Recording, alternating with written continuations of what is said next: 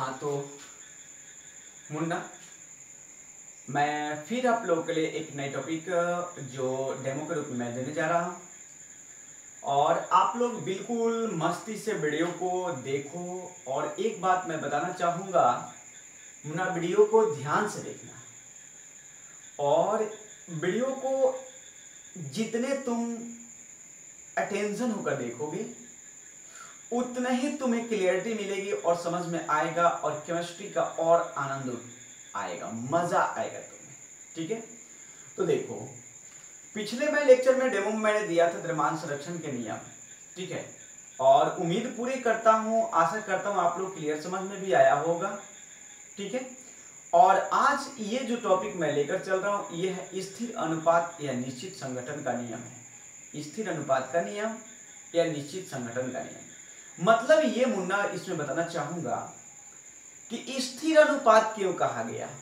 मतलब ये है कि जो भी ये नियम दिया गया था, एक निश्चित अनुपात के रूप में दिया था। कि एक निश्चित इस मतलब कोई भी क्वांटिटी एक निश्चित अनुपात में रहेगी, तब भी होगी। ठीक है? तो मैं ये बता दूँ पहले। देखिए सबसे पहले ये टॉपिक आज का ये रहा आप लोगों का क्वेश्चन भी लिख देता हूँ। स्थिर क्वेश्चन सबसे पहले मैं लिखना पसंद करूँगा आप लोगों को। स्थिर अनुपात।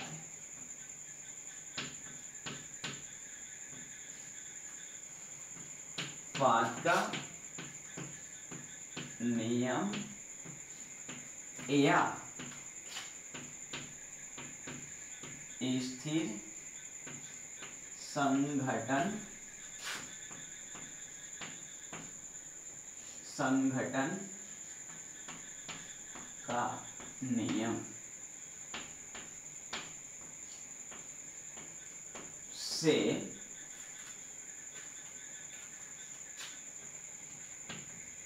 क्या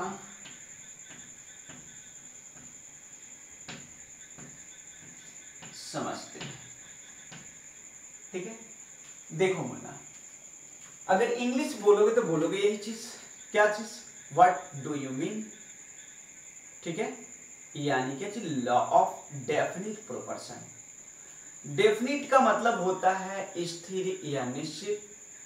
ठीक है? और लॉ मने नियम होता है।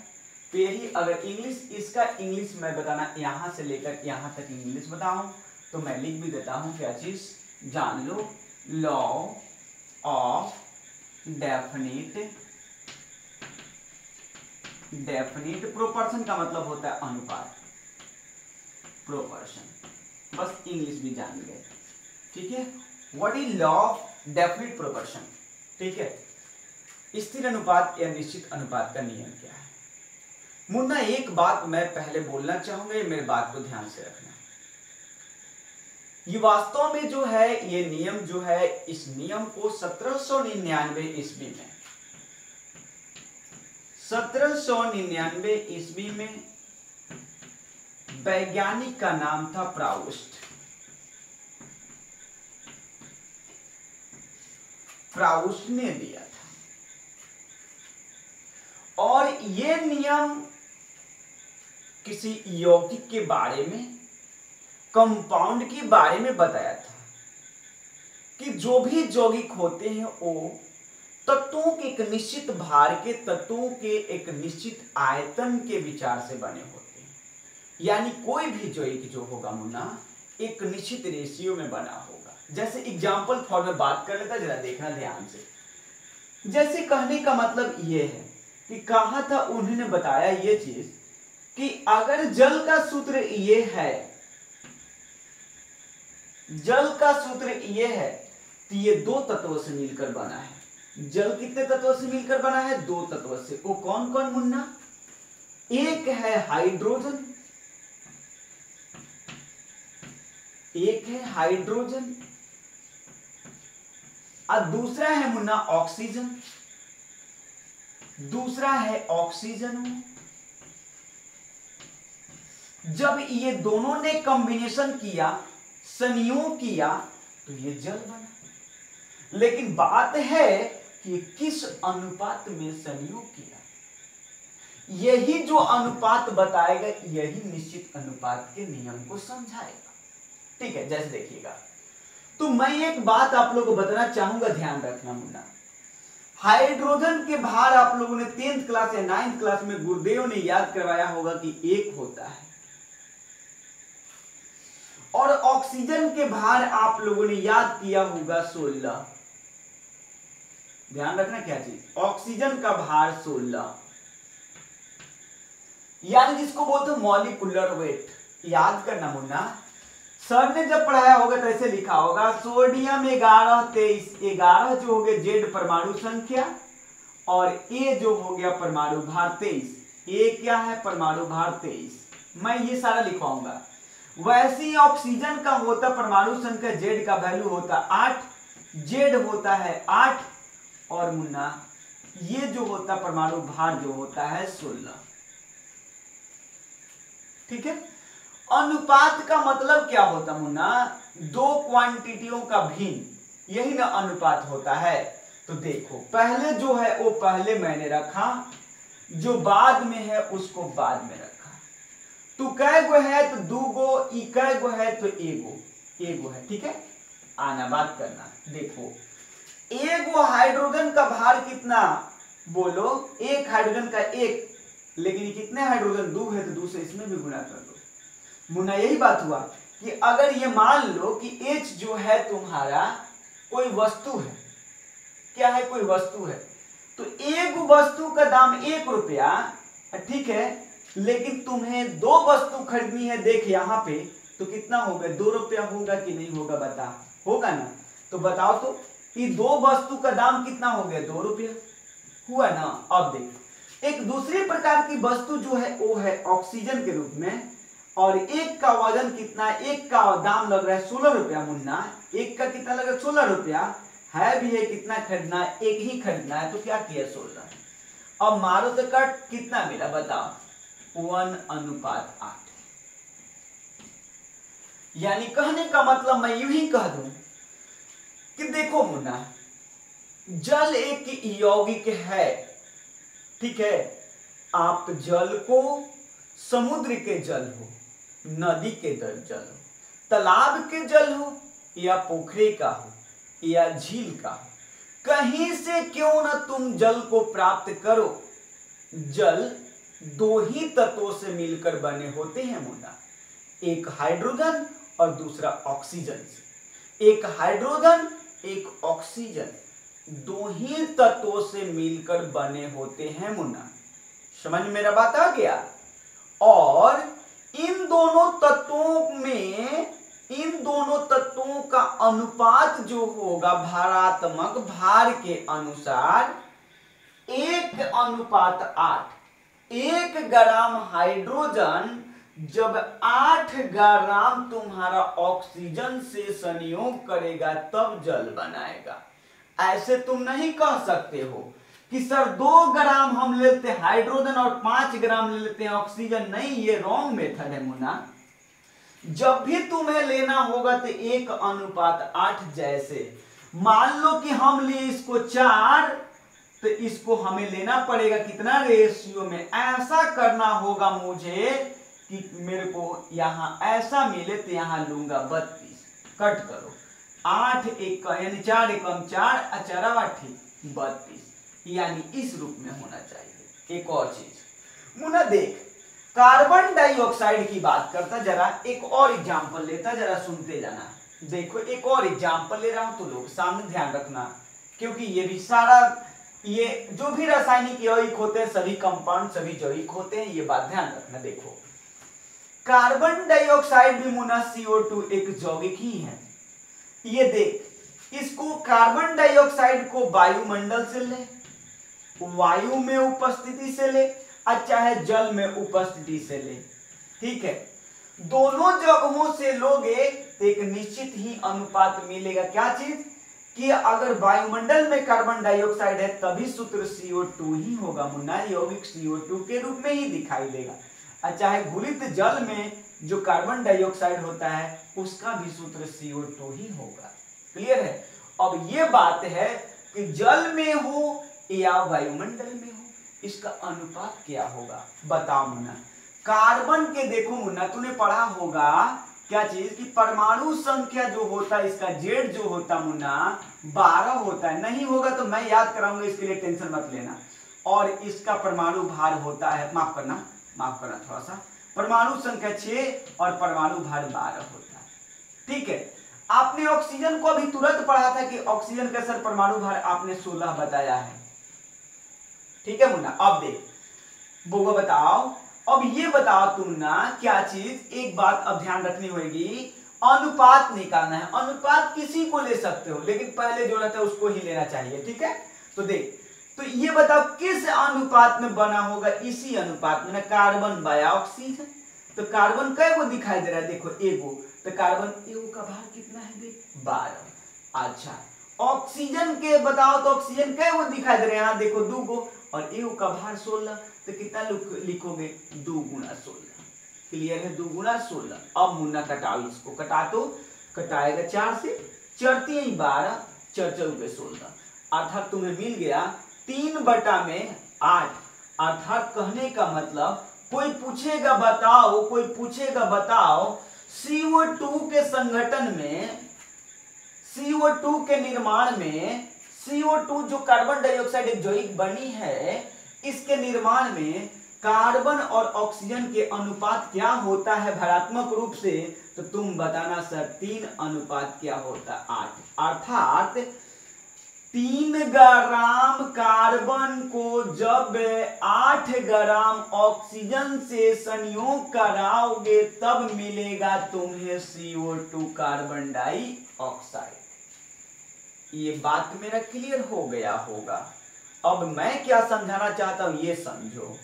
देखो मुन्ना, ये कहा गया, बताया, ये किसने, प्रवुष्ट ने बताया कि यौगिक जो होते हैं, क्या बोला? कि दो या दो से अधिक तत्वों के भार के विचार से एक निश्चित अनुपात में रासायनिक संयोग के फल स्वरूप बनते हैं। इसका मतलब ये है, कहने का तात्पर्य, दो या दो से अधिक तत्वों को लेना, ठीक है? उसका अपना एक अनुपात होता है, और यदि उस अनुपात में लेकर संयोग करा दोगे, मिला दोगे तो जिस जोई को बनाना चाहते हो, वो जोई तुम्हारा बन जाए, जैसे। तुम जल बनाना चाहते हो तो इसमें दो या दो से अधिक, कम से कम दो तत्व तो होना चाहिए। तो दो तत्व में मैंने कार्बन, यदि हाइड्रोजन और ऑक्सीजन को लिया तो ये बोला प्राउस्ट ने कि यदि तूने हाइड्रोजन को और ऑक्सीजन को लिए हो तो इनका एक अनुपात होगा। क्या? ध्यान रखना, भार के विचार से जल को एक अनुपात आठ जल को बनाने के लिए हाइड्रोजन और ऑक्सीजन के अनुपात एक अनुपात आठ में लेना। तुम्हें बता रहा है, इसका मतलब बताया कि हाइड्रोजन को तुम एक ग्राम लेना, हाइड्रोजन को एक ग्राम लेना तो ऑक्सीजन को तुम लेना कितना ग्राम? आठ ग्राम। जब ये दोनों आपस में संयोग करेंगे, तब तुम्हारा बन जाएगा जल, और जल एक क्या है? यौगिक बात समझ में हो आ गया होगा। क्या बोले? ये बातें कि यौगिक सर्वदा यौगिक सर्वदा दो या दो से अधिक तत्वों के एक निश्चित भार के विचार से, एक निश्चित अनुपात में रासायनिक संयोग के फलस्वरूप बनते हैं। जैसे, जल एक यौगिक है। नाइन्थ क्लास में ये क्वेश्चन पूछा, पूछता था बुआ कि जल एक यौगिक है कैसे? प्रमाणित करना था। इसका उत्तर दे रहा हूँ। जल एक क्या है? यौगिक है। ठीक है? जल को किसी भी स्रोत, जैसे समुद्र, तालाब, नदी, पोखर, झील आदि से क्यों न ले लिया जाए? क्यों न ले लिया जाए? ये ये जल केवल दो तत्वों, हाइड्रोजन एवं ऑक्सीजन से ही क्या होते हैं? मिलकर बने होते हैं। क्या होते? हाइड्रोजन एवं ऑक्सीजन से ही मिलकर बने होते हैं, निर्मित होते हैं। ठीक है? इसमें हाइड्रोजन एवं ऑक्सीजन का भार के विचार से अनुपात कितना होता? एक अनुपात आठ होता है। फिर से एक बार मुना। मान ले क्या चीज़? ये बातें मैं बता दूँ कि सबसे पहले बता दूँ कि सन सत्रह सौ निन्यानवे ईस्वी में प्राउस्ट नामक वैज्ञानिक ने स्थिर अनुपात का नियम या स्थिर संगठन का नियम दिया था। इस नियम के अनुसार बताया, यौगिक सर्वदा दो या दो से अधिक तत्वों के एक निश्चित भार के विचार से एक निश्चित अनुपात में रासायनिक संयोग के फलस्वरूप बनते हैं। रासायनिक संयोग के फलस्वरूप निर्मित होते हैं। क्या कहलाता है? यही जो कहलाता है, स्थिर अनुपात का नियम कहलाता है। ठीक है? जैसे मुना एक बात कि जल को आप किसी भी स्रोत से प्राप्त कर लो। जल केवल हाइड्रोजन एवं ऑक्सीजन दो तत्वों से ही निर्मित होता है, जिसमें हाइड्रोजन एवं ऑक्सीजन के भार के विचार से अनुपात एक अनुपात आठ होता है। आप ये भी समझ लो कि आप किसी भी स्रोत से कार्बन डाइऑक्साइड को ले लो, वायुमंडल से ले लो, या जल में घुलित कार्बन डाइऑक्साइड की बात करो। ठीक है? लेकिन ये बने किससे होते हैं? कार्बन और ऑक्सीजन से ही निर्मित होते हैं। ठीक है? और इन कार्बन एवं ऑक्सीजन के अनुपात जो होता है, ये तीन अनुपात, आठ के अनुपात में ही कार्बन डाइऑक्साइड बनाएँगे। यदि तीन अनुपात आठ के रूप में आप नहीं लिया तो कार्बन डाइऑक्साइड नहीं बनेगा, कोई भी क्या बनेगा, ये पता नहीं बात तो समझ गए होंगे, क्लियर? कोई तो दिक्कत नहीं हुआ होगा। बोलिए, समझ में आ गया ना? चलिए, ठीक है। हाँ तो चलिए, लिखवा देते हैं, ठीक है? मिटाए। चलिए, साफ़ करता हूँ। बोर्ड को साफ़ करता हूँ और आपको लिखवाता हूँ। फटाफट लिख लीजिए। क्लियर क्वेश्चन वैसे ही रहेगा, ठीक है? कोई दिक्कत नहीं। समझ गए होंगे मेरे ख्याल से। चलिए।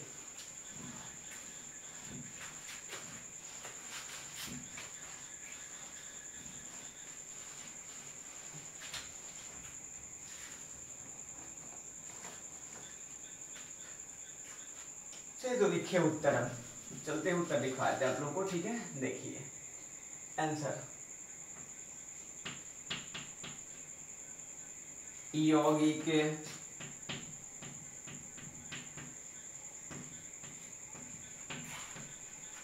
सर्वदा। सर्वदा।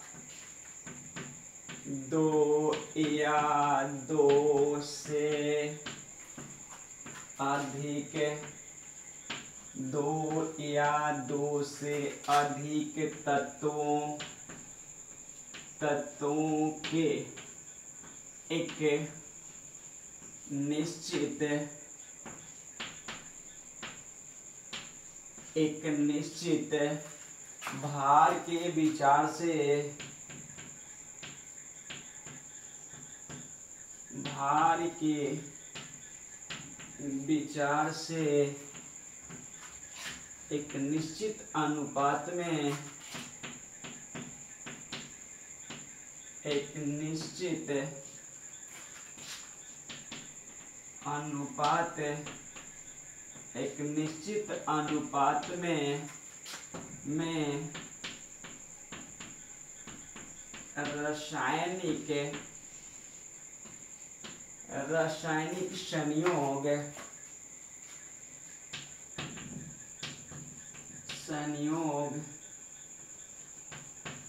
के फल स्वरूप क्या कहलाते हैं? इसी को कहते हैं क्या चीज़? कौमा। यहीं पे खड़ी पाई दे देना और दे करके हम लोग रुक जाएँगे, ठीक है? अब देखो, जैसे में लेना, जैसे हम लोग देंगे, क्या चीज़? जैसे। जल क्या है? जल एक यौगिक यौगिक है, जिसे जिसे किसी भी किसी भी स्रोत किसी भी स्रोत से, स्रोत जैसे डालता हूँ, जैसे समुद्र। समुद्र, झील, तालाब तालाब आदि करता हूँ। आदि, ठीक है, से। आदि से क्यों न क्यों न ले लिया जाए? क्यों न ले लिया जाए? समझ में आगे क्या बोल रहा हूँ ना? क्यों न ले लिया जाए? ये सभी ये सभी ये सभी सभी हाइड्रोजन हाइड्रोजन एवं ऑक्सीजन। ये सभी हाइड्रोजन एवं ऑक्सीजन से ही मिलकर मिलकर बने होते हैं। ठीक है? अब यहाँ देखो क्या बोल दिया। कि आप किसी भी स्रोत से लो। जल है ना, लेकिन ये बना किससे है? केवल हाइड्रोजन एवं ऑक्सीजन से ही मिलकर बने होते हैं, ठीक है? इस जल के निर्माण थोड़ी सी देता हूँ। इस जल इस जल के निर्माण निर्माण में हाइड्रोजन हाइड्रोजन एवं एवं ऑक्सीजन ऑक्सीजन ऑक्सीजन का का का भार के विचार से, भार के विचार से, भार के विचार से अनुपात अनुपात, एक अनुपात आठ होता है। क्लियर स्क्रीन शॉट ले लीजिए, ताकि थोड़ा ऑब्जेक्टिव पार्ट में लिखवा दूँ। ले लिए होंगे? हुआ? बोलिए, हो गया। चलो प्रिय बंधु बहुत बढ़िया बहुत बढ़िया। चलो, अब यहाँ ऑब्जेक्टिव में प्रश्न की बात करें तो दो है प्रश्न। पहली बात ये बातें क्वेश्चन करेगा। देखिए क्या क्वेश्चन है, जरा ध्यान दीजिएगा। देखिए तो कोई बड़ा चीज़ नहीं, बहुत छोटे पार्ट में बात करने जा रहा हूँ देखिए क्वेश्चन ये स्थिर अनुपात अनुपात का नियम किसने दिया? किसने और और कब दिया था? कब दिया था? ठीक है तो उत्तर दोगे। कौन भैया? प्राउस्ट। प्राउस्ट नामक वैज्ञानिक कब? सत्रह निन्यानवे ईस्वी में। चलिए। आप लोग क्लियर समझ गए होंगे मेरे ख्याल से। ठीक है? चलिए इसको भी स्क्रीनशॉट ले लीजिएगा लिख लीजिएगा। ये ऑब्जेक्टिव जनरल कंपटीशन या कभी भी आप लोग भविष्य में काम आएँगे ऐसे प्रश्नों के तो मैं एक और क्या कहा जाता है? एक पोलिंदा ही रखा हूँ यार ठीक है? और एक बात मैं बताना चाहूँगा इतना ऑब्जेक्टिव लिखवा देंगे हर चैप्टर से कि कभी भविष्य में आप लोगों की उतना मेहनत नहीं करना भविष्य के बारे में सोचने की ज़रूरत नहीं पड़ेगी। इतना मैं बताता हूँ आप लोगों को और नहीं भी, भी भरोसा होगा तो आप मेरे यहाँ पढ़े पिछले वर्ष के स्टूडेंट से पूछ लीजिए कि मैं कितने ऑब्जेक्टिव आप लोगों को लिखवाता रहता हूँ। ठीक है? चलिए, तब तक के लिए धन्यवाद। फिर मिलते हैं नेक्स्ट वीडियो में नेक्स्ट टॉपिक के साथ।